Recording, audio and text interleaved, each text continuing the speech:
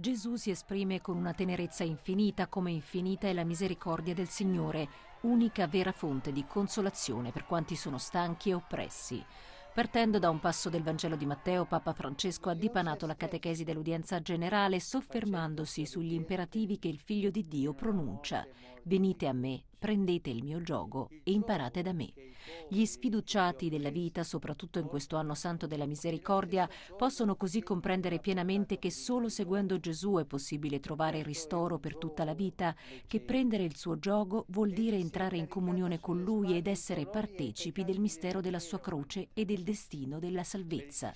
Bisogna dunque vivere di misericordia per essere strumenti di misericordia, consapevoli che a volte la nostra stanchezza è causata dall'aver posto fiducia in cose che non sono l'essenziale. Non lasciamoci togliere la gioia di essere discepoli del Signore, ha aggiunto il pontefice, non lasciamoci rubare la speranza di vivere questa vita insieme con Lui e con la forza della sua consolazione. Ma perché Gesù è capace di dire queste cose?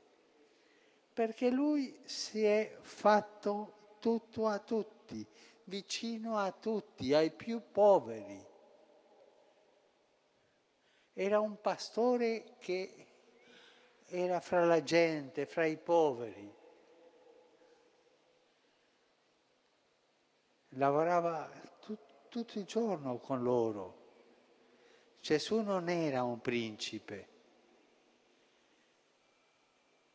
È brutto per la Chiesa quando i pastori diventano principi, allontanati dalla gente allontanati dai più poveri. Quello non è lo spirito di Gesù. A questi pastori Gesù rimproverava e su questi pastori Gesù diceva alla gente, ma fate quello che loro dicono, ma non quello che fanno.